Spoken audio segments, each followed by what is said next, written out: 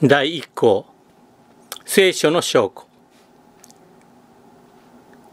処女降誕の教理は聖書におけるただ二つの明白な言及に基づいている。マタイ一章18節から25節とルカ一章26節から38節である。新約聖書には他に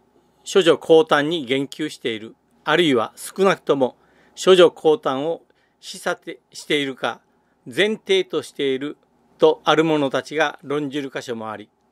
マタイ1章23節が引用する、イザヤ7章14節の予言もある。だが、このような箇所を考慮に入れたとしても、関連する言及の数はかなり少ない。しかし聖書は一度ではなく二度も処女降誕を事実として認めているのだから、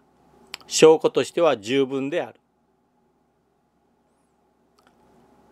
我々は聖書を霊感を受けたもの、